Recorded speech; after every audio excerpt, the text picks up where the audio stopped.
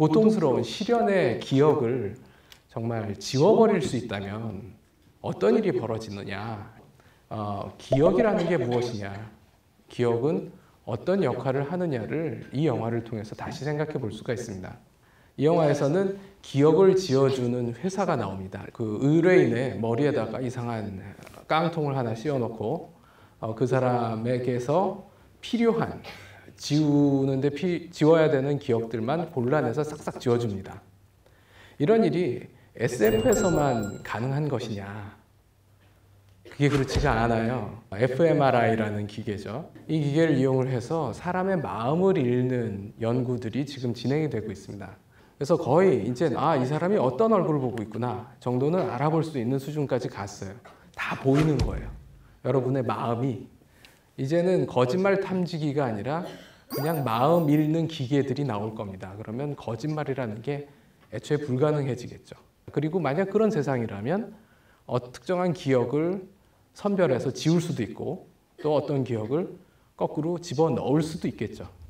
그게 한 10년, 15년 후엔 가능할 수도 있습니다. 그런 게 정말로 가능해진다면 여러분은 어떤 기억을 지우고 싶으실까요? 근데 그 보통 우리는 이렇게 생각을 해요. 안 좋은 기억이 떠오르기 때문에 기분이 나빠진다. 근데 심리학 연구에 따르면 사실 인과관계는 반대라고 합니다. 우울한 기분일 때 우울한 기억이 떠올라요.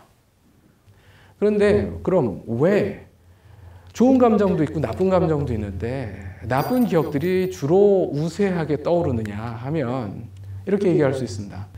결국 기억의 가장 핵심적인 기능은 뭐냐면 기억을 잘하면 살아남을 수 있고요. 기억을 잘 못하면 죽는 거예요. 기억이라는 건 생존을 위해서 필요한 겁니다. 안 좋은 것들을 기억해야지 그 안 좋은 일들을 피할 수가 있습니다. 그러니까 위험했던 거, 불쾌했던 거, 부정적인 것들 이런 것들을 기억을 해야지 그걸 피할 수가 있어요. 그러니까 기억이라는 건 좋았던 걸 더 찾아가게 만드는 역할이 우선이 아니라 어, 안 좋았던 걸 피하게 만들어주는 역할이 제일 우선적인 거라는 거죠.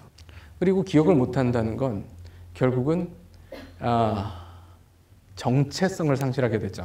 여기서 이제 조엘이 어, 클레멘타인과의 기억들을 모두 지울, 지우려고 합니다. 그랬더니 그 기억이 어린 시절의 기억까지 연결이 돼요.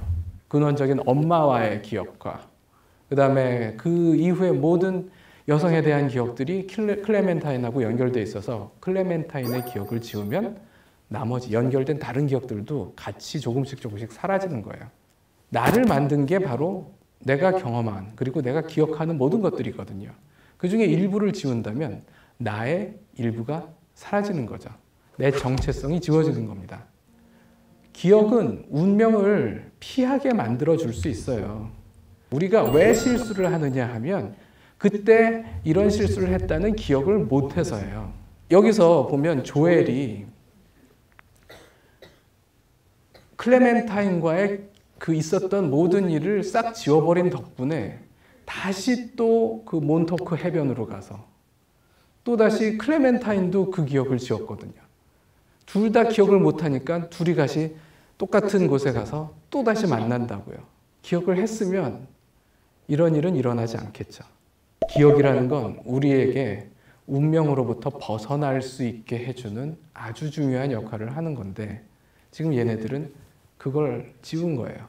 우리가 과거를 계속 과거의 경험을 축적하면 좀 더 현명해지는 이유가 기억 때문이거든요. 기억이 쌓이면 쌓일수록 여러 사례들을 이해를 하게 되고 왜 처음에는 단순한 원인 때문에 생겼다고 생각하는 어떤 일들이 사실은 그게 아니라 여러 가지 원인이 오랫동안 축적이 되어서 생기는 것이다라는 걸 이해를 하게 되거든요.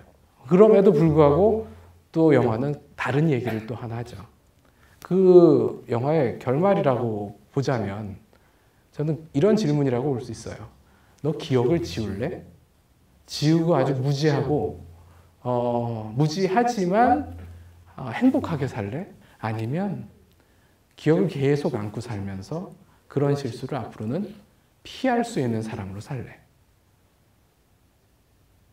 여러분이라면 어떤 쪽을 선택하시겠어요?